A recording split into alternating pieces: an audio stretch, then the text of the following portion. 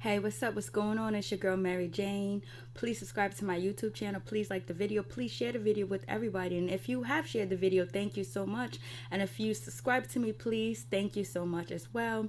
Well, let's get into it. We're going to get into Invite Only Cabo, Season 1, Episode 4, Secrets and Lies. Secrets and Lies. So we're going to begin off where we left off from the last episode where Kamani hurts herself, you know, dirt bike riding, four wheeler riding, or whatever, and she's okay, she's fine, she's good. She got a little cup scrape bruises, and she has on a neck brace. So, anyways, they, everyone is at the hospital with her. Then they come back to the house. You know, her and Emily makes up. Her, her and Bianca makes up. Everybody, it's all kumbaya. It's all good. So everything's all good between everybody, whatever. So, but then you got Malaku, Malaku and Jermaine are talking about, you know, tomorrow is going to be Bianca's birthday or whatever. And them two are in the kitchen. And so, um, you know, Malaku is like, so what do you think Larry's going to do for Bianca's birthday? And Jermaine was like, I don't know, but, you know, um, Bianca has two taco trucks. She has bartenders. She has DJs. She has everything. She has a three day event for Larry when it's when it's his birthday, so he better do something. And then Jermaine is in his his confessionals, and he's like, you know, she wants something that jingles, something that goes inside of an ignition of a car and starts it up. That's what she wants, basically. And I'm like, oh, how cute is that? and so, um, Larry, Malaku, and Jermaine, uh, Malaku, I hope I'm saying it right. Um, go they go out to go get you know Bianca birthday present basically. And you know Larry is like yo you know what I'm gonna get? I'm gonna get you know Bianca this ring from the jewelry so I'm gonna go to the jewelry store because it's her birthstones or opal or whatever. And so Malaku is just like yo um, I don't think you should buy her that ring or anything because that's sending a mixed messages. That's sending her the wrong message. It's almost like in a promise ring. It's almost like an engagement ring. Jermaine is in the back seat. He ain't saying nothing. He's just like, whatever. So, anyways, they get out, they get to the jewelry store. The jeweler remembers Larry and has the ring all ready for him. You know what I'm saying?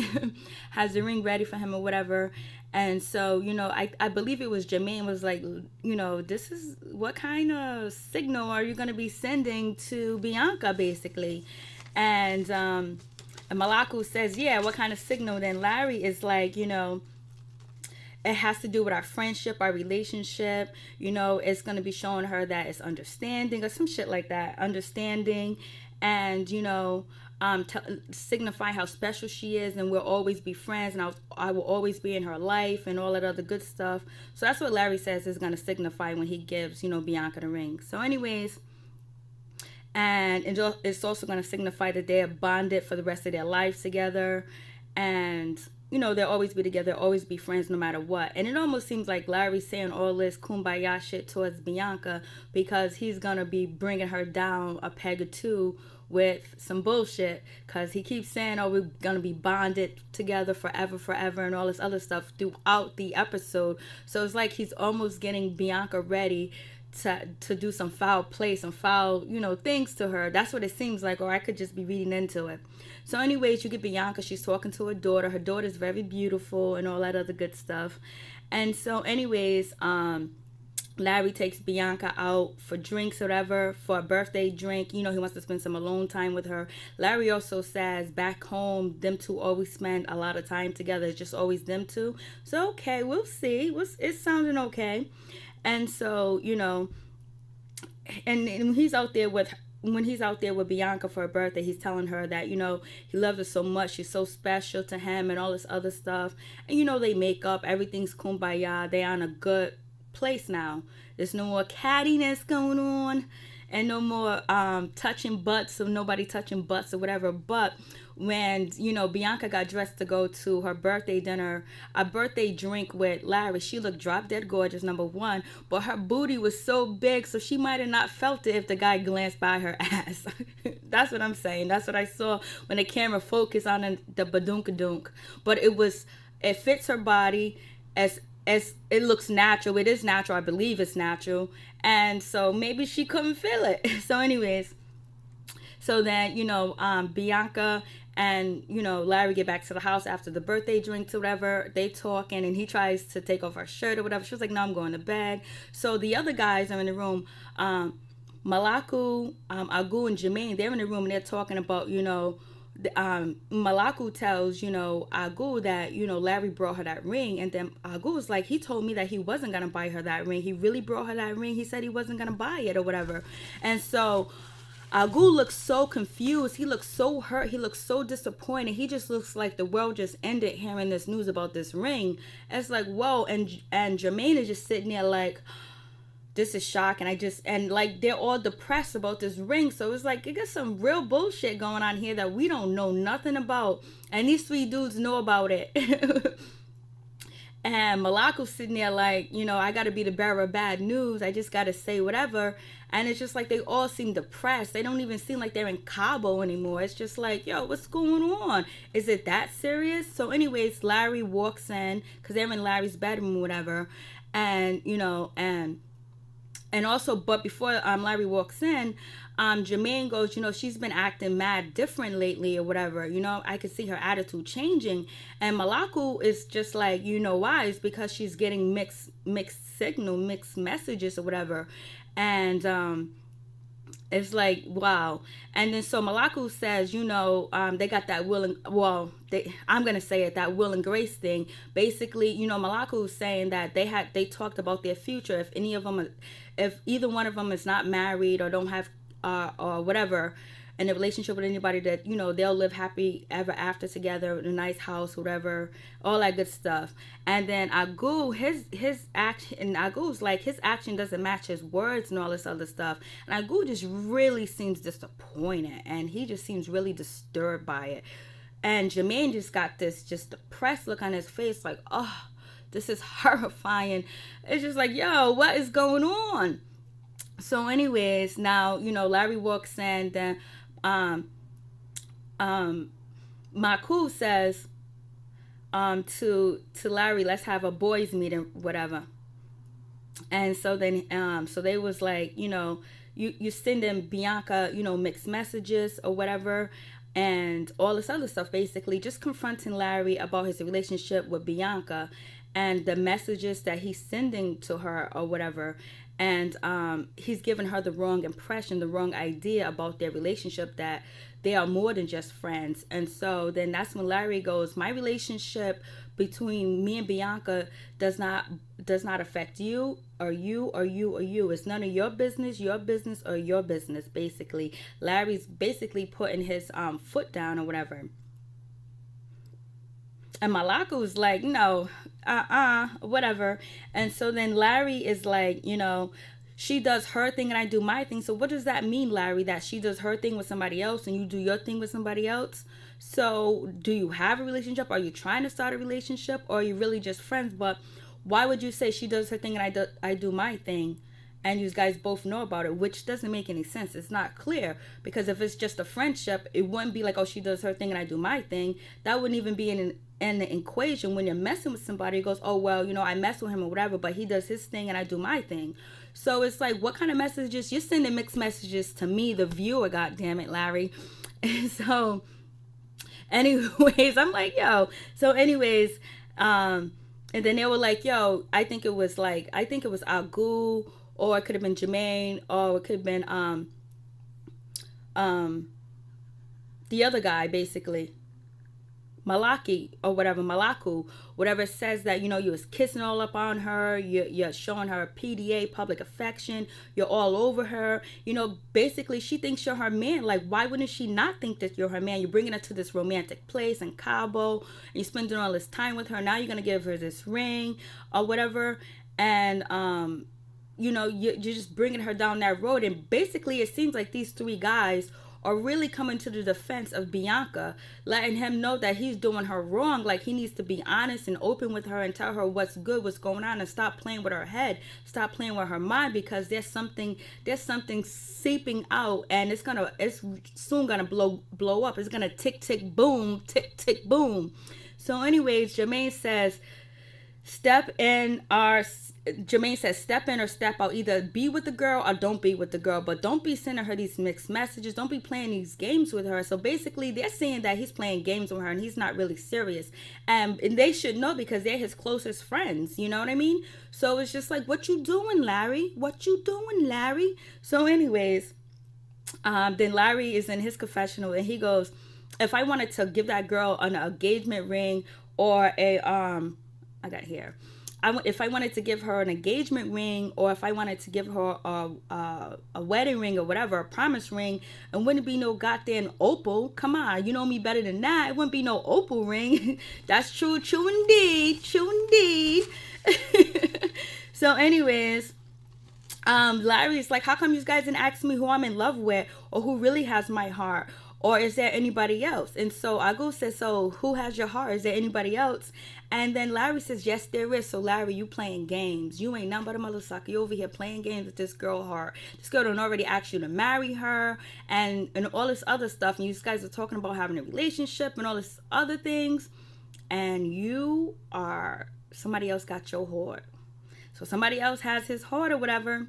And he won't and he hasn't told Bianca that yet. So that's foul you know that's that's gonna hurt when it when it hits the fan it's really gonna hurt her so anyways you know malaku is like so i oh i know who it is and then um Jermaine goes, I know who it is too as well. But there was like, you know, I'm we ain't gonna beg you for the answer or whatever.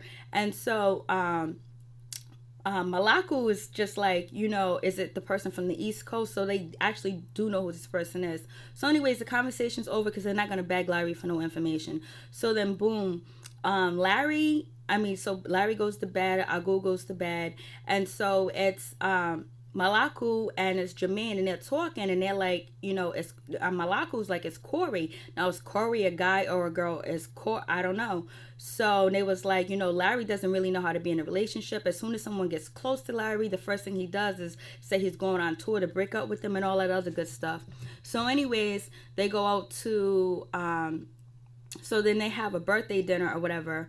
But before then you got emily. Emily's drunk again and she's go- going after agu. She's trying to get in his bed. She's kissing out she kissing on his cheek she's throwing her butt you know on on agu. And she's asking agu let's go smoke a long cigarette and all this other stuff. So she's trying to get with agu. She's telling agu to come outside with her. Agu is like nah i can't because i'm really trying to get with kamani. So emily goes outside but she falls asleep and agu goes to bed or whatever. And so you know, um, the next day, you know, um, Larry he makes a birthday cake and everybody goes to Bianca's bedroom and sing her happy birthday and all that good stuff. And so, you know, um, Larry says a speech. He goes to her, um, you, I, I have the most meaning, the most meaningful relationship with you. You know, Bianca, you are everything in this world. I couldn't be without you in this world. I love you. I don't know what I would do without you. You're sticking with I'm sticking with you're sticking with me for the rest of my life. We're always gonna be together. We're always gonna be friends and all that other good stuff. So he's like giving her this birthday you know, speech or, or nothing about it's all about love and this and that or whatever. But there is one thing I can say about Larry's defense. He never said that he was in love with Bianca. He always said he loved her, they'll be together forever, they're friends and, and they're bonded and they're stuck together, but he never said he was in love with Bianca. That's one thing he's never said that he was in love with her. So anyways, the next day they get ready, the same day they get ready for Bianca's birthday to go out to birthday dinner. Bianca, she's so happy because she was like, this is the first time Larry ever acknowledged my birthday or gave me something for my birthday or did something for my birthday. Wow. And you throw three days events for this dude. And this is the first time he did something for you for your birthday I gave you a gift. That's foul. So it almost kind of seems like Larry is playing games when with Bianca. Like she's only good when, you know, nobody's around or she's only good when this other person ain't around. But he don't even acknowledge her birthday and they're friends. Wow. So, anyways, they go to the birthday dinner. Everybody looks drop dead gorgeous. Everybody's dressed to death. Everybody looks good.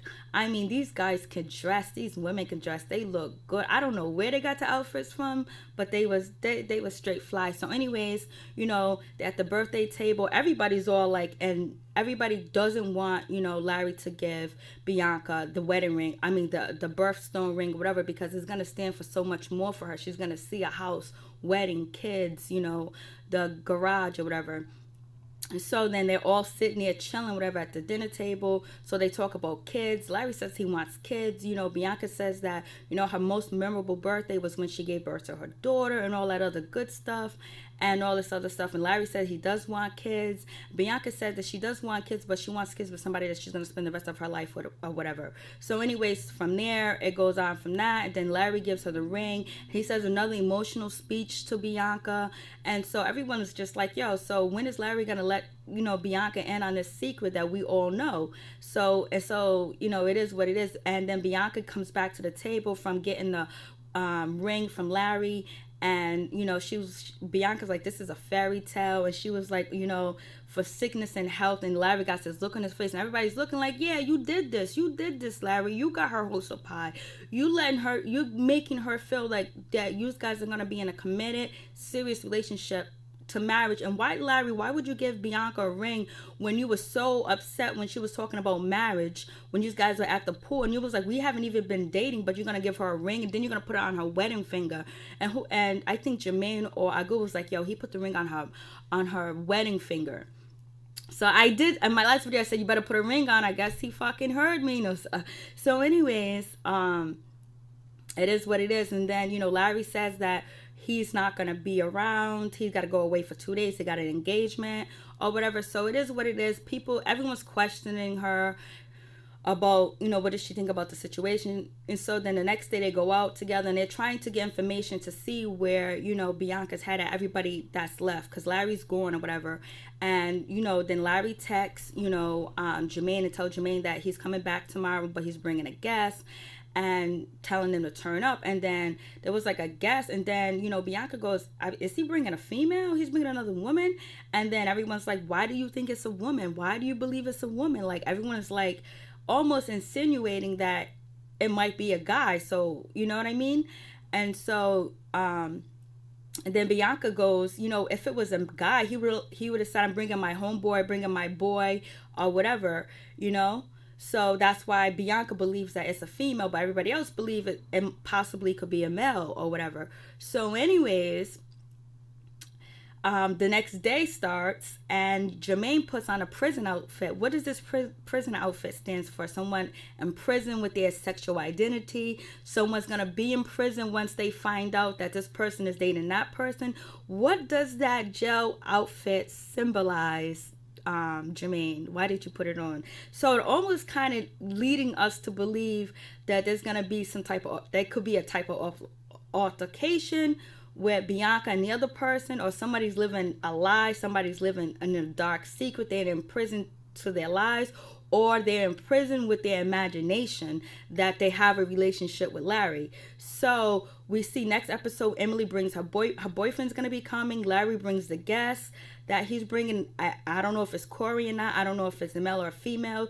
They insinuate that it sound like a female, but I couldn't really tell if it was a female or a male. So we'll see. Next episode's gonna be turned up, and then Emily is gonna get into it with Bianca.